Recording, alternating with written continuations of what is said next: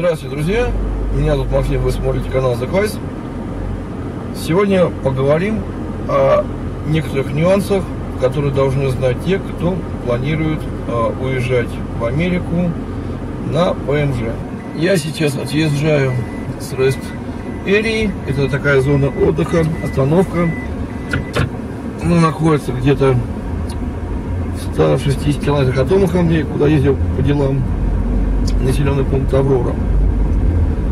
Буквально несколько дней назад э, я встречал очередных людей, прилетела семья с Украины, я их встречал в Чикаго, потом э, доставлял на машине до Омаха, и э, ребят поделились очень полезной информацией по поводу вот, прохождения интервью на границе, когда необходимо вот убедить миграционного офицера а, в своих благонадежных намерениях пребывания в США.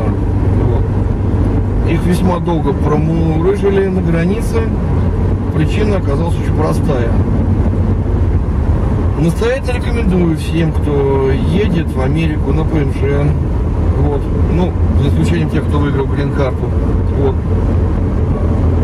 с собой иметь обратные авиабилеты. Вы даже можете их не выкупать, обратные авиабилеты. Вы можете подготовить э, распечатку о том, что их только зарезервировали. В принципе говоря, это тоже будет являться основанием. Но сейчас, как показывает практика, если вы заказываете авиабилеты с различного рода сайтов, где они продаются скидками, то иногда выгодно брать билеты в два конца, и это получается дешевле, чем билет в один конец. Вот. Это первый важный нюанс наличия обратных билетов. Если вы покажете офицеру на границе американскому, соответственно, к вам гораздо меньше будет вопросов.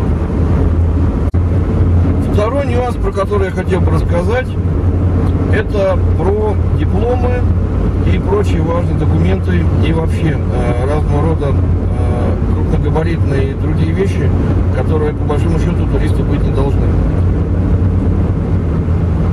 Я пообщался тоже с э, изрядным количеством людей и пришел к выводу, что имеет смысл, если вы едете на ПМЖ в США, исключением тех, кто э, выиграл грин-карту и как бы легально приезжает уже на полном основании, не класть в свой багаж и вручную кладь документы о своем высшем, среднем, специальном и другом образовании, э, разного рода документы на детей, как-то справки вакцинации, разного рода дипломы из школы и так далее. И прочие бумаги. Такие документы лучше отправлять отдельно, самому себе по почте или попозже попросить кого-то отправить, но никак не брать с собой. А, случаи досмотра ручной клади крайне редки, но, тем не менее, они иногда бывают, когда офицер на границе может попросить вас открыть э, вашу, э, ваш багаж и досмотреть на предмет того, что находится. Хотя это крайне редко. Из тех людей, которые приезжали в Омаху, пока никто еще на такой досмотр не попадал. Ну и понятное дело, что если вы едете как турист, то брать с собой зимние куртки и теплые вещи тоже достаточно непонятно с точки зрения э, того же вас будут досматривать по каким-то причинам, э, кладь и обнаружить там все эти разные предметы, которые весьма странные для туриста, то тоже могут возникнуть дополнительные вопросы.